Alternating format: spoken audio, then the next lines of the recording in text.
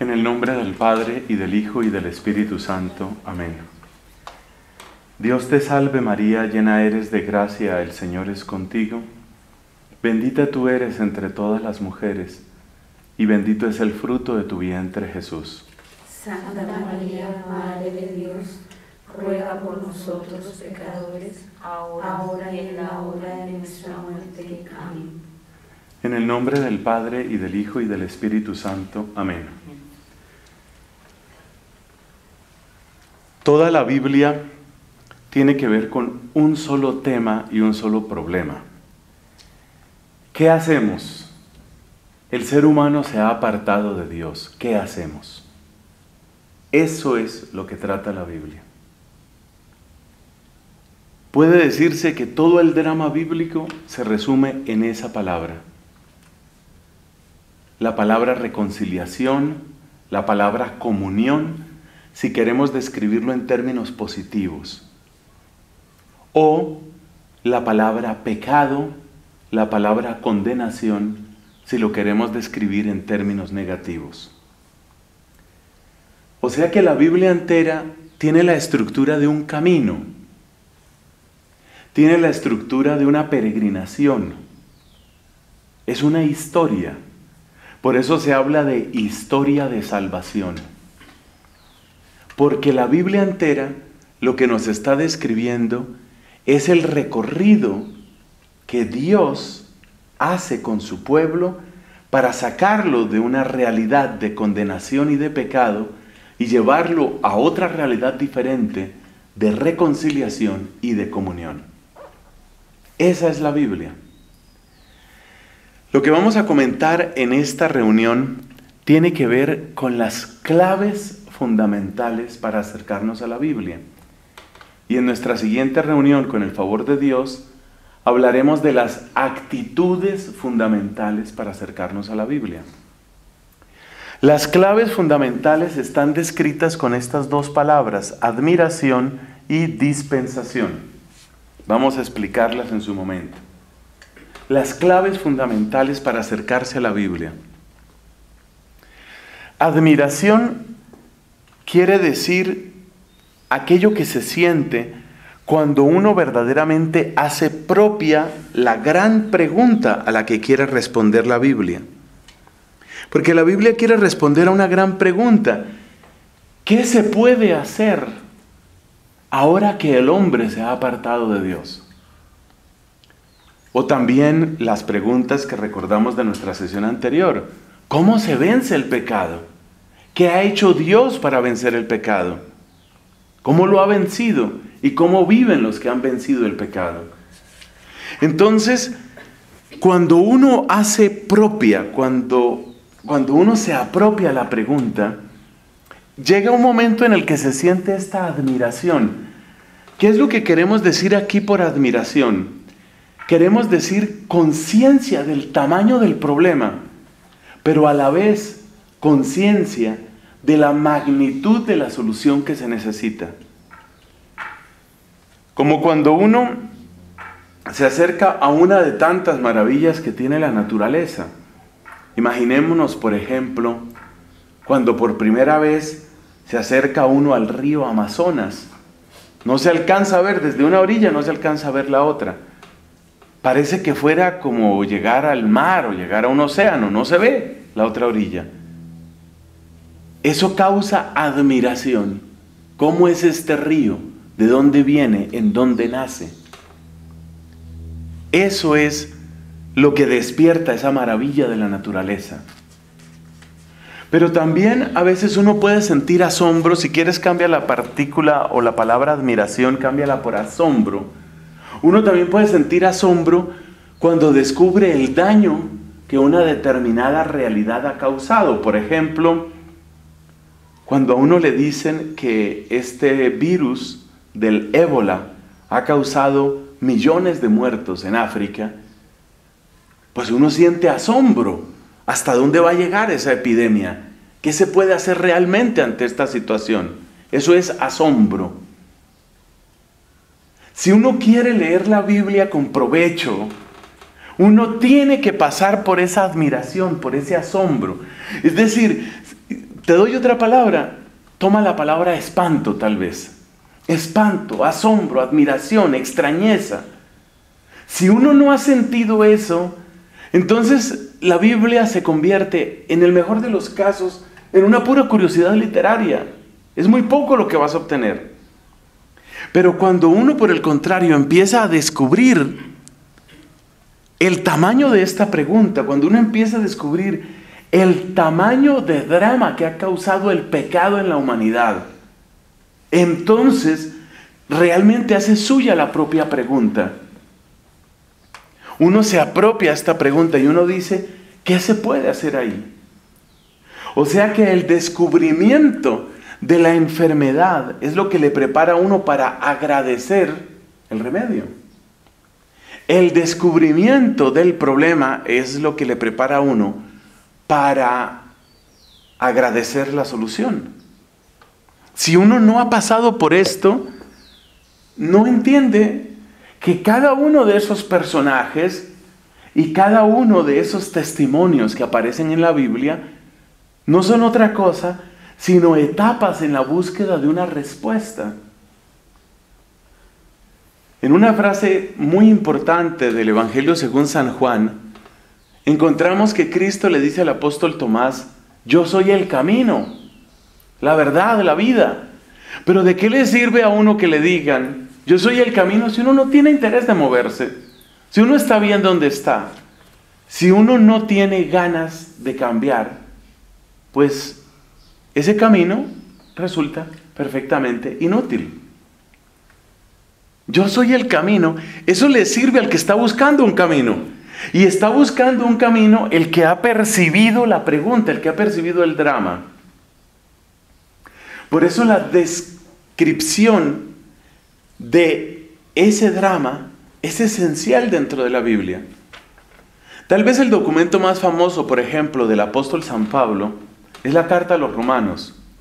Yo recomiendo que en la reflexión de la tarde, tomen ustedes por favor el tiempo de reflexión que hay, tomen ustedes por favor los capítulos 1, 2 y 3 de la carta a los romanos y por favor los van a leer en esta clave de admiración, asombro, extrañeza, estremecimiento, espanto. Si uno no se siente espantado por el tamaño del problema del pecado, si uno no siente eso, entonces tampoco siente en realidad ¿Para qué sirve la Biblia? Es como la persona a la que nunca, nunca le ha interesado la química orgánica. Y le dicen, mira, acaba de llegar la mejor enciclopedia de química orgánica. Ah, ¿de qué me sirve? ¿Para qué me interesa? Solamente cuando uno ha descubierto el tamaño de la pregunta, empieza a interesarse en dónde está la respuesta y para qué sirve la respuesta. Y eso es lo que sucede. Entonces, la carta a los romanos es un comienzo interesante para un primer acercamiento a la Sagrada Escritura. Toma los capítulos 1, 2 y 3. Y lo que te vas a encontrar en síntesis es que en el capítulo primero, el apóstol San Pablo intenta describir el drama, la pregunta, es decir, el tamaño del problema. Dese cuenta hasta dónde ha llegado la humanidad, dese cuenta. Y eso es lo que nos dice el apóstol San Pablo, básicamente. Dese cuenta el tamaño del problema. Entonces describe cómo la familia se ha pervertido. Describe cómo todo tipo de degeneración sexual sucede. Describe cómo la gente se llena de dureza y de agresividad y de venganza, de odio, de superstición, de idolatría.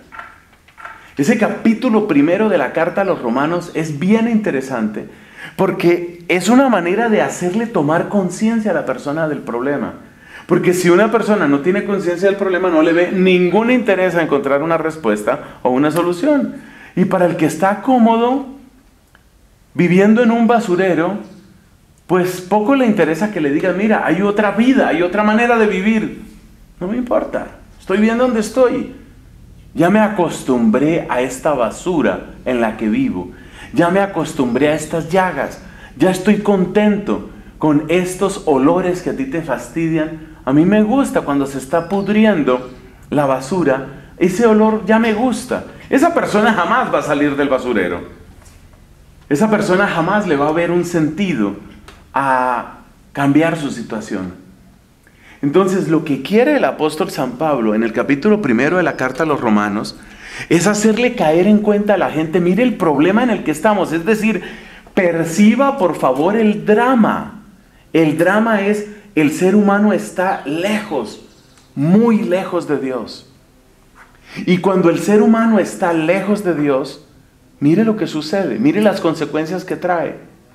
Es decir, mire cómo nos volvemos, mire en qué nos convertimos los seres humanos cuando nos apartamos de Dios. Ese es el punto de partida. Y sin eso, lo demás no tiene sentido. La persona que está contenta, la persona que se siente orgullosa de su pecado. Hoy se utiliza mucho y muy mal la palabra orgullo. Entonces el orgullo gay, el orgullo transexual, el orgullo de la idolatría, el orgullo de la quiromancia, el orgullo de la superstición, todo se hace con gran orgullo. Ya me separé, me voy a casar por octava vez y estoy feliz. Tómenme hartas fotos, estoy feliz porque me voy a casar de nuevo. Vez número 8, matrimonio número 25. Estoy feliz de eso. El cinismo que se aposenta a veces en el corazón humano vuelve los oídos impermeables a esta voz. La persona que está marcada por el cinismo no le interesa esto. Y lo único que mira en la Biblia es un manual de prohibiciones y una especie de receta para la amargura. Es lo único que encuentra en la Biblia. Y por eso siente fastidio, alergia hacia la religión. Porque no ve en la religión sin una cantidad de negativas y de prohibiciones. Pero ¿qué sucede cuando una persona toma verdadera conciencia? Cuando una persona toma genuina conciencia del drama. Cuando una persona llega a descubrir, mire cómo nos volvemos cuando nos apartamos de Dios. Esa frase, qué bueno que la están tomando en sus apuntes, porque ese es el punto de partida y esta es la admiración. Mire cómo se vuelve el ser humano cuando se aparta de Dios. Y por supuesto, la respuesta que uno encuentra es monstruos. Nos volvemos monstruosos. Lejos de Dios nos volvemos monstruosos. ¿Por qué? Porque todo tipo de pasiones, como dice el apóstol Santiago, las pasiones guerrean en nuestro interior. Entonces, dependiendo de si me gana la codicia o la lujuria, si me gana la mentira o la envidia, si me gana la soberbia o la pereza, dependiendo de qué tipo de demonio se adueñe de mi corazón, así va a ser mi vida. Entonces, dice el apóstol Santiago, las pasiones guerrean en vuestro interior. Ese es el ser humano. Ese es el ser humano sin Dios.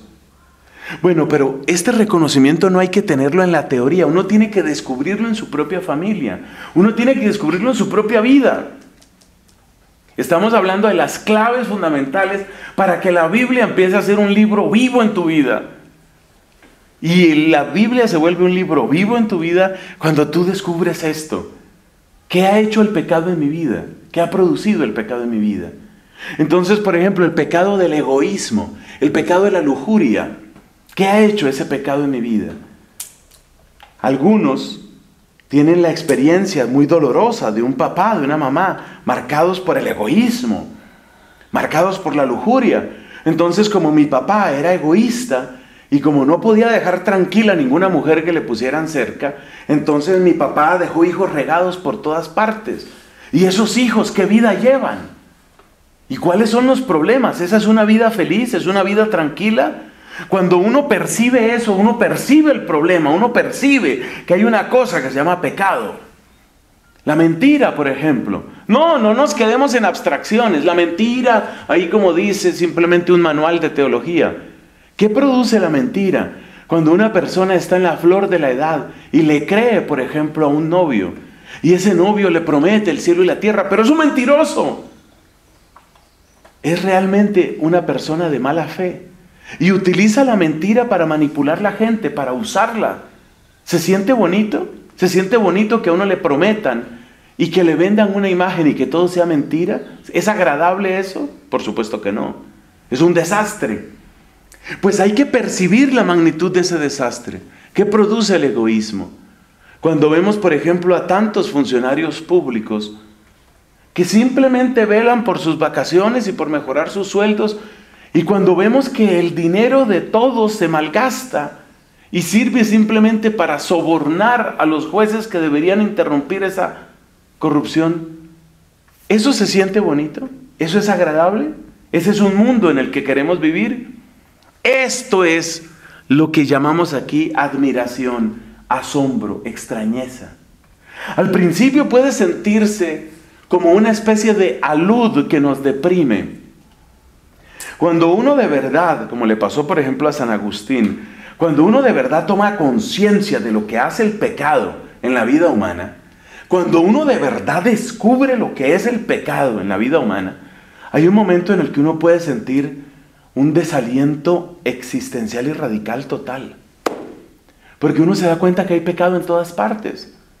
Uno se da cuenta que hay pecado en la propia familia, que hay pecado en los niños, que hay pecado en los jóvenes. Muchas personas mayores en este momento experimentan un desaliento existencial muy fuerte. ¿Por qué? Porque sienten que las nuevas generaciones parece que no pensaran en otra cosa sino en disfrutar, estar bien, gozársela. No les interesa nada más. Y eso por supuesto causa un profundo desaliento. Entonces hay que tener admiración, no frente al poder del mal, sino admiración y asombro frente al tamaño del problema. Quizás la palabra admiración no es la mejor, pero es que esta admiración me sirve para conectar con lo que luego vamos a decir de la dispensación. Entonces, ¿cómo debo acercarme a la Biblia? Haciendo mía la pregunta, tomando como propio con toda conciencia lo que se dice sobre un problema muy grave. Y ese problema se llama pecado. Y ese pecado se expresa en múltiples ramificaciones a través de lo que llamamos egoísmo, soberbia, mentira, engaño, envidia, lujuria, agresividad, violencia. Muy bien, esa es una clave fundamental. Lectura recomendada, capítulos 1, 2 y 3. ¿Qué es lo que presenta San Pablo en el capítulo segundo? Presenta el mismo drama, pero para el pueblo elegido. Es decir, mostrando que tampoco los judíos, aun siendo pueblo elegido, han quedado liberados del pecado. Como quien dice, el problema todavía no está resuelto por el hecho de ser judíos. Eso es lo que quiere mostrar el apóstol San Pablo en ese capítulo segundo. Y a partir del capítulo tercero empieza a hacer un planteamiento de la respuesta, respuesta que lleva finalmente a la persona de Cristo. Una manera interesante de empezar a acercarse a la Biblia es a través de esos tres capítulos, 1, 2 y 3 de la carta a los romanos. Y es mi sugerencia para la meditación de la tarde. Bueno, esa es la primera clave que quería compartirles, es decir, hacer nuestro el problema. Para luego ver que cuando yo abro las páginas de la escritura, lo que estoy buscando es ¿Cuál es el camino para que este ser humano se reconcilie con Dios? Yo quiero introducir aquí una palabra antes de pasar a lo de dispensación. Yo quiero introducir aquí una palabra que es muy importante en la teología de San Pablo y una palabra que solemos entender mal o por lo menos deficientemente. Es la palabra justificación. En la Biblia, justo es Dios. Y justos son aquellos que viven según Dios. Justificar es llegar a ser justo, es decir, llegar a vivir en plena amistad, obediencia, amor, cercanía con Dios. Eso es lo que significa ser justo. Justificar es llegar a ser justo. Entonces fíjate que la palabra justificación en la Biblia no es lo mismo que usualmente uno entiende por justificación, porque uno suele entender por justificación una excusa. Una disculpa y usualmente una disculpa insuficiente. Mire, no se justifique, hermano. ¿Eso qué quiere decir? No diga excusas que ya se sabe que van a ser insuficientes. En cambio, en la Biblia la palabra justificación lo que quiere decir es el camino para llegar a ser justo. Y llegar a ser justo es llegar a vivir en amistad y en comunión con Dios. Por eso ya tenemos otro título para la Biblia. La Biblia podría llamarse el camino de la reconciliación. La Biblia podría llamarse hacia la comunión con Dios. O la Biblia podría llamarse también la ruta, la senda de la justificación. Justificación en el sentido de cómo llegar a ser justos. Es decir, ¿qué hacemos? Volvemos a los mismos temas. ¿Qué hacemos? El ser humano ha roto la comunión con Dios. El ser humano se ha apartado de Dios. El ser humano le ha dado la espalda a Dios. ¿Qué hacemos? ¿Cómo llegar a ser justo? Es decir, ¿cómo llegar a vivir como Dios quiere? ¿Cómo podemos ajustarnos? Eso es lo que quiere decir justificación. ¿Cómo podemos llegar a ajustarnos?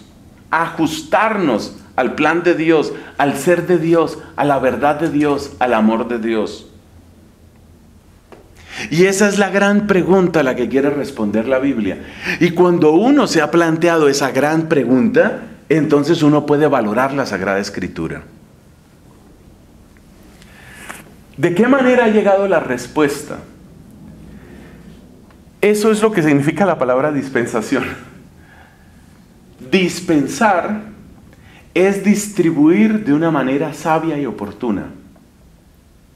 Dispensar. Dispensar es, por consiguiente, un acto que podemos llamar de providencia. En la dispensación se unen la sabiduría, el amor y el poder. Como Dios, a través del tiempo, ha ido ofreciendo una respuesta, ha ido construyendo una respuesta. Entonces, cuando nosotros hablamos de la dispensación, lo que estamos hablando es del camino que ha seguido Dios para dar respuesta a esta pregunta. Si la primera clave para leer la Biblia es, por favor, perciba la pregunta, la segunda clave es, esté atento a la manera como Dios ha ido ofreciendo la respuesta. La manera como Dios ha ido dando la respuesta. Observemos, antes de pasar a lo que está en la parte inferior de nuestro tablero, observemos lo que queremos decir con esto de dispensar. Dispensar es dar, pero es dar con sabiduría. Es un dar con inteligencia.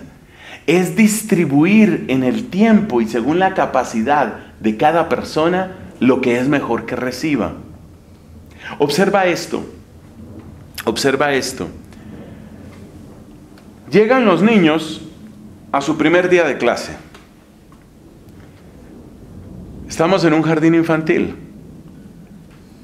Y entonces la profesora saca un libro y empieza a leerles a los niños y les dice, por favor hagan un resumen niños y lo escriben en sus cuadernos.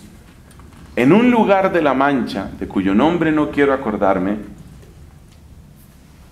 esos niños un día tal vez logren entender esa obra y puedan hacer un resumen, pero por ahora no saben ni siquiera dibujar las letras. Entonces, la profesora tal vez es una montaña de conocimientos literarios, pero si ella quiere tomar la obra de Miguel de Cervantes Saavedra e inyectársela a unos niños de 5 o de 6 años de edad, va a perder el tiempo y va a hacer sufrir a los niños y no va a lograr nada. ¿Qué es lo que nosotros alabamos en una buena profesora? ¿Qué es lo que nosotros alabamos en una buena predicadora o un buen predicador? ¿Qué alabamos? No solamente que la persona tenga conocimiento, sino que decimos, no solo sabe, sino que sabe transmitir. Eso es dispensar. Dispensar es saber transmitir. Dispensar es otorgar lo que se puede dar, en cierto sentido, lo que se debe dar en el momento en el que se debe dar. O sea que la dispensación une sabiduría, amor, poder y condición temporal. La dispensatio que se dice en latín o economía que se dice en griego, la economía de la salvación. ¿Qué quiere decir la economía de la salvación? ¿Quiere decir que Dios es muy económico y que entonces dio muy poquita salvación? No. La economía quiere decir, mira, oikos es casa, nomos es ley, oikos nomos es la ley de la casa, es decir, cómo debe regirse una casa. ¿Por qué? Porque en una casa es necesario, es necesario seguir una economía. ¿Qué es lo propio de una casa? Que se hace el mercado. Y el mercado se hace pues cada semana o cada dos semanas. ¿Y qué es lo que se hace en una casa? Lo que se ha comprado para una semana se va distribuyendo poco a poco, se va dispensando. Si se compró carne que se debe consumir en una semana, pues ¿cuál es la parte que se prepara hoy? ¿Cuál es la parte que va al congelador? ¿Cuál es la parte que debo dejar descongelando para mañana preparar? Eso es dispensar, eso es proveer, eso es tener sabiduría, amor y poder y aplicarlo en una condición temporal. Por eso en griego se habla de la oikonomía, oikonomía de la salvación. Es decir, la economía de la salvación. Cuando hablamos de economía de la salvación, ¿de qué estamos hablando? Estamos hablando del proceso sabio, misericordioso y poderoso por el cual Dios a través del tiempo fue transmitiendo su verdad, fue transmitiendo su conocimiento, es decir, quién es Él. Fue enseñándonos, fue guiándonos y fue sanándonos y fue levantándonos. El ser humano está sometido al tiempo. Los niños de 5 años de edad no tienen manera de tomar apuntes sobre la lectura del Quijote. No tienen manera, no saben qué hacer. Se ponen a llorar, no entienden lo que está pasando. Entonces, ¿cómo toca empezar? Toca empezar por los sonidos de las letras, toca empezar por dibujar las letras. La M con la A suena ma, así por lo menos nos enseñaban en nuestra época o en mi época. Quién sabe cómo enseñarán ahora. Le van enseñando a uno las sílabas, le van enseñando a leer frases sencillas, frases más largas. Un día le van enseñando ortografía, gramática, sintaxis. Luego le van enseñando a uno a reconocer las ideas dentro de un texto, dentro de un párrafo, le van enseñando a uno a hacer un resumen, luego le van enseñando que hay distintos autores. Fíjate, hay un camino, hay un proceso. La respuesta que Dios ha dado a esta pregunta, la pregunta de qué se hace con el ser humano que se apartó de Dios, la respuesta que Dios da es una respuesta con economía. Es decir, hay una economía de la salvación, hay una sabiduría con la que Dios procesualmente ha ido llevando a su pueblo. Cuando uno tiene verdadera conciencia del tamaño de la pregunta, cuando uno ha tomado conciencia del tamaño de la pregunta, entonces empieza a sentir verdadera admiración del tamaño de la respuesta. Tal vez la palabra admiración es bueno que haya quedado aquí para que entendamos que así como es inmenso el problema y como es terrible la pregunta, así también es inmensa la respuesta de Dios y es maravillosa su providencia, su dispensación de la gracia. Entonces para leer la Biblia uno tiene que ponerse unos anteojos y esos anteojos son los anteojos de la dispensación. Uno tiene que tomar conciencia de la dispensación de la gracia. Es decir, uno tiene que saber que Dios ha obrado procesualmente. Que lo que llegó a saber de Dios Salomón no es lo mismo que sabía de Dios Abraham. Lo que llegó a saber de Dios María no es lo mismo que alcanzó a saber de Dios Salomón. Lo que llegó a saber de Dios San Pablo no es lo mismo que llegó a saber de Dios los que vivieron en el Antiguo Testamento. Es decir, hay un proceso. Dios se ha ido revelando. A este proceso hace alusión el capítulo primero de la carta a los Hebreos, cuando dice de esta manera tan bella, de muchas maneras habló Dios en otro tiempo por medio de los profetas. De muchas maneras. Es poco a poco. Es proceso. Es historia de salvación. De muchas maneras. Y como es de muchas maneras y como es poco a poco, yo también voy entendiendo que la respuesta que da el niño de cinco años y lo que haría que yo le dé un aplauso al niño de cinco años no va a ser necesariamente lo mismo que me despierta ganas de aplaudir a un muchacho que termina su maestría o su doctorado en lingüística o en teoría literaria. Si el niño de cinco años ya me lee una frase que dice mi mamá me mima, yo seguro le doy un abrazo y le digo muy bien, vas muy bien. Pero si me encuentro en un universitario que lo único que sabe leer es mi mamá me mima, entonces yo digo, pues siempre te hace falta un poquito más, puedes avanzar más, seguro que puedes dar más. Eso es un proceso. Y esto se le olvida a la gente, muchos enemigos de la Biblia, porque la Biblia tiene muchos enemigos, y muchos enemigos de la fe no toman en cuenta esta dispensación. Entonces se hacen preguntas como estas, ¿por qué en el Antiguo Testamento aparecen tantos, eh, tantas batallas? ¿Y por qué aparecen tantos muertos? ¿Y por qué tantas carnicerías y tanta sangre? Hermano, tú tienes que entender que en ese estado tan primitivo y tan supremamente oscuro de la humanidad, los primeros pasos hacia la luz, si los juzgamos con los ojos de hoy, pues es lo mismo que juzgar las letras de un niño de 5 años después de que uno ya hace rato que utiliza computador y, y tantos otros recursos que nos ofrece la tecnología hoy para leer, escribir y estudiar. Entonces yo tengo que tomar conciencia de que este pueblo de Dios ha vivido muchas etapas y que desde una imperfección moral, desde una oscuridad moral densa, profunda, grandísima, seria, penetrante, Dios ha ido sacando a su pueblo. Hay una comparación que me gusta hacer porque creo que creo que se entiende bastante.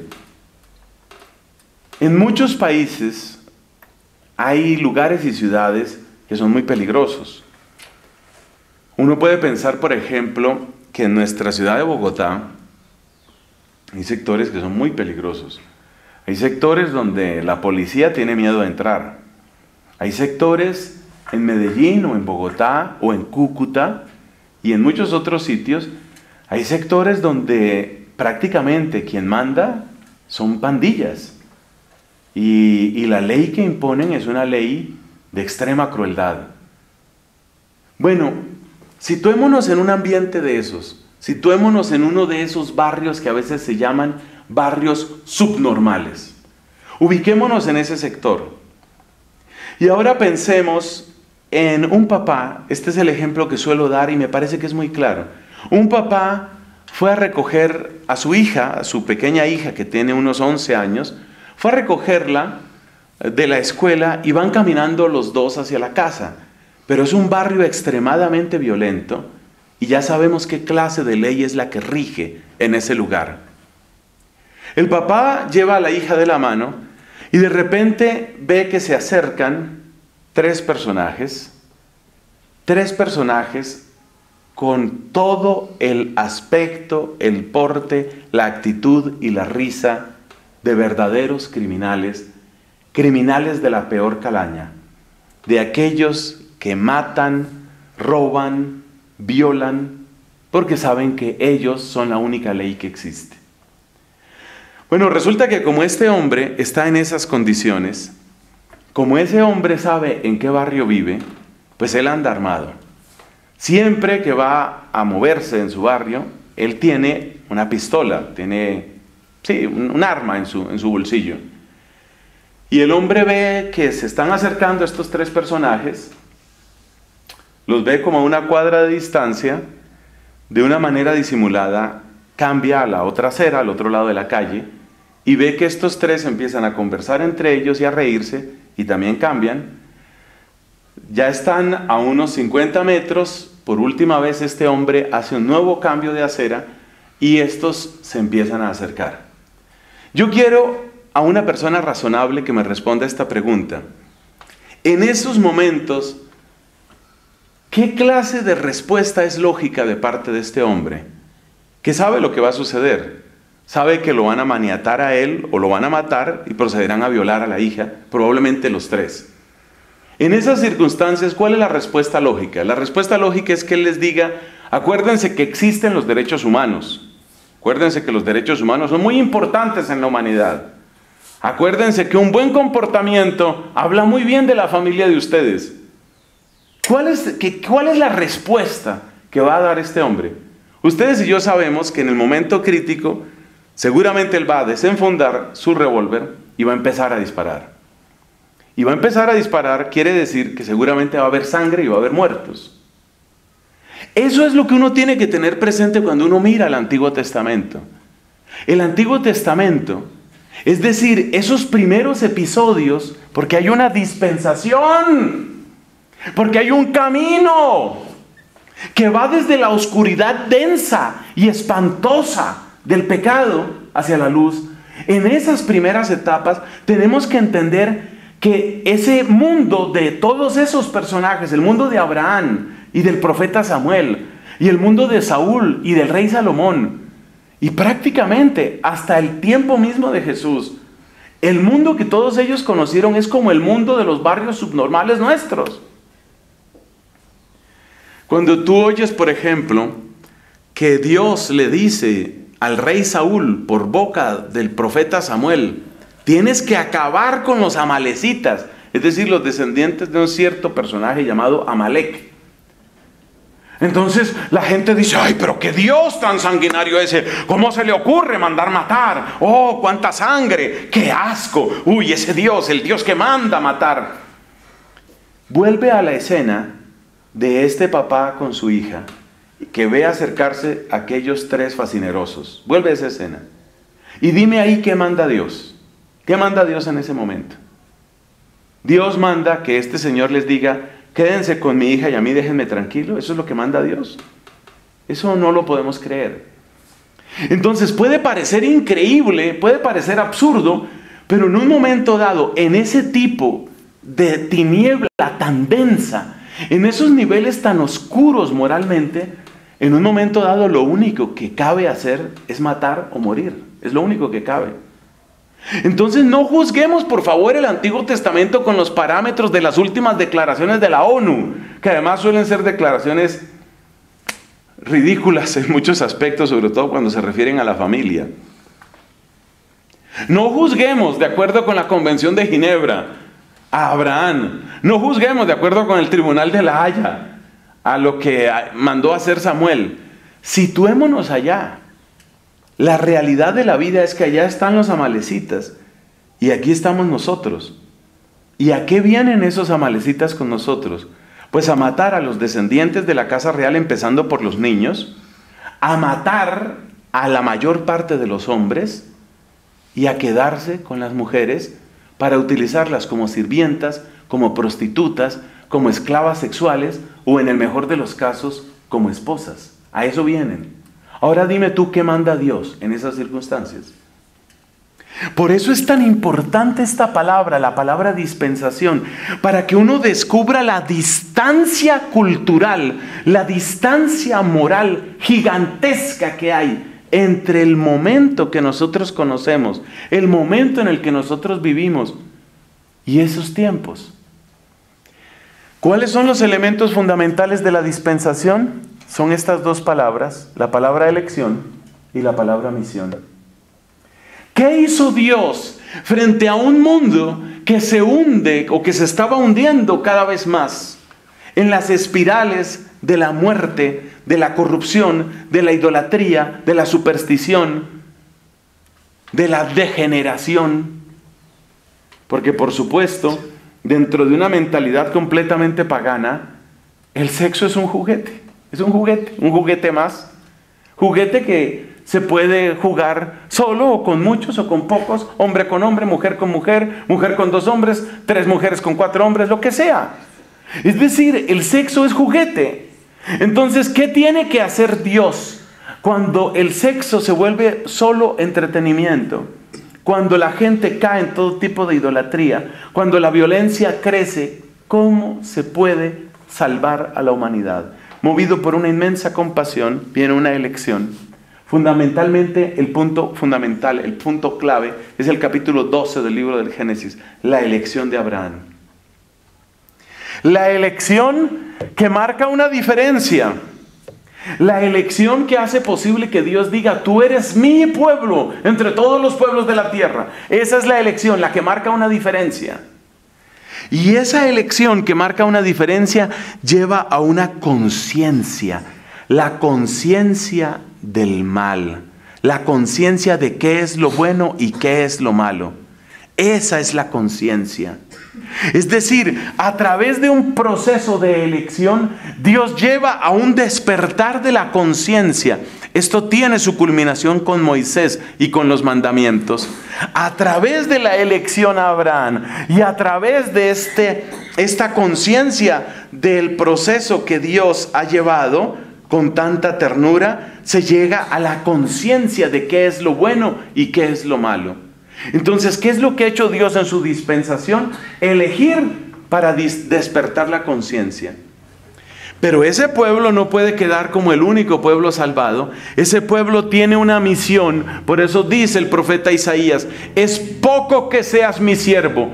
Te hago luz de las naciones para que mi salvación alcance hasta el confín de la tierra. Entonces lo que Dios hace es escoger a unos pocos y ponerlos al servicio por medio del testimonio para que la salvación llegue a los demás. Este esquema es muy importante porque este esquema resume hasta donde logro entenderlo, porque estos misterios son muy hondos, pero hasta donde logro entenderlo, este sencillo esquema con estas seis palabras resume la dispensación. Dios elige, marca una diferencia y despierta la conciencia. Ese pueblo elegido recibe una misión que es de servicio a los demás pueblos y a las demás gentes a través del testimonio.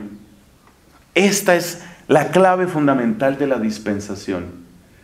¿Cuáles son las dos claves? Y de aquí terminamos por ahora. ¿Cuáles son las dos claves? Son la admiración, es decir, el tener verdadera conciencia del tamaño del problema, el asombro ante el tamaño del problema y luego el asombro y la admiración frente al tipo de respuesta que es la oiconomía, la dispensación de la gracia que nos llega en su plenitud a través de la persona de Cristo. Gloria al Padre y al Hijo y al Espíritu Santo. Como en el principio, ahora y siempre, por los siglos de los siglos. Amén.